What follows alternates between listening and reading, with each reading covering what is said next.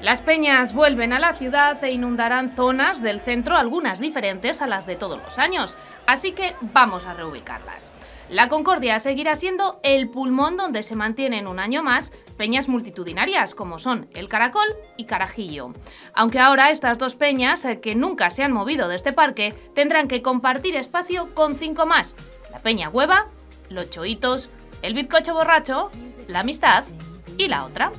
Cambiamos de escenario y nos vamos hasta el Paseo de San Roque, que será otra de las zonas en las que continuarán las cinco peñas habituales de otros años. Fugitivos, El Tarro, La Abuela, La Crisis y La Espince.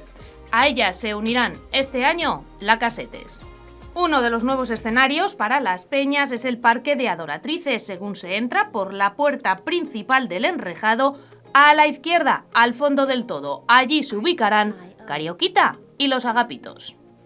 Por último, en toda esta calle, en toda la Fuente de la Niña, lo tendrán francamente fácil para ir a los conciertos de ferias las cinco peñas que cierran este recorrido. El Buey, Beodos, Búfalos, Escopitos y El Pellejo.